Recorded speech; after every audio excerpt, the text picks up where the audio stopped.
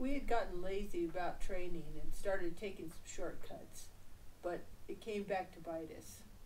I'll come back in the second half of this and tell you about it.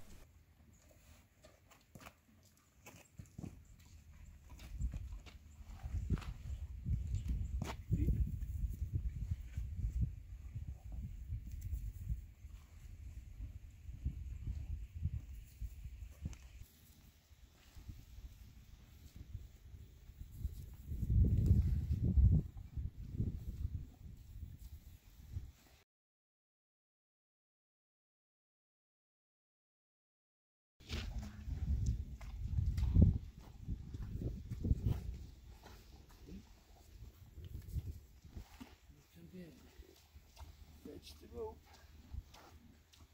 There we go. Deep.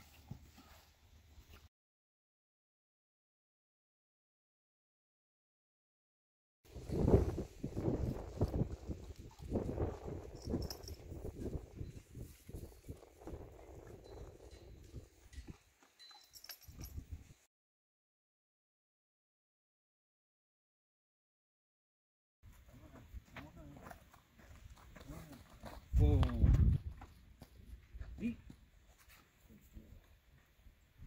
Deep. His head. A little high.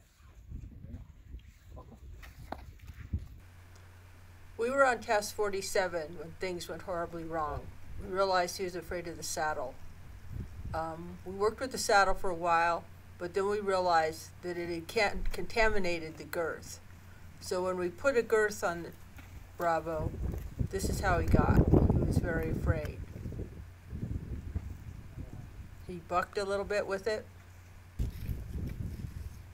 So the first thing we did was recondition an approach with the girth.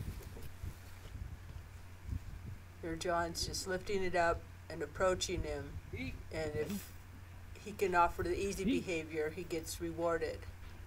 Now here John has upped the game a little bit, and he's leaving it on and respondently conditioning Bravo to understand that as long as the girth's on, he's going to get food. Then we lengthened the girth so it could actually get around him. It's just a surcingle. We get it from the other side too.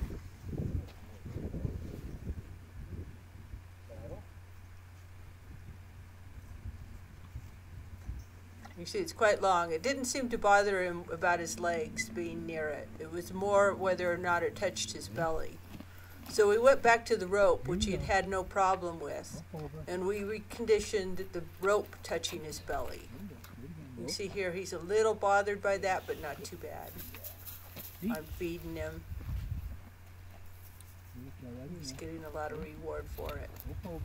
Good. Okay. Then we got out a towel and we're doing belly lifts. So we lift up, and when we lift, we give him food. So that we condition the lifting of the, the pressure on his belly to mean that food is coming. We, then we thought we could safely return to the um, surcingle. However, uh, he was still quite nervous about it.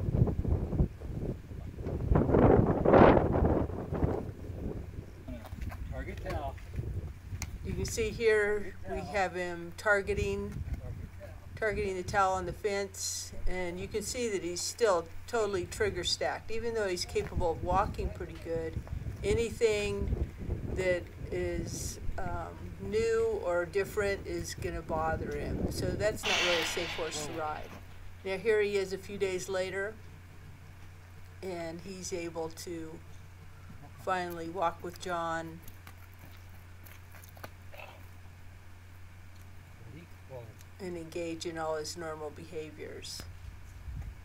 At this point, we took him out into a larger arena, and he was able to perform there. He's looking pretty good.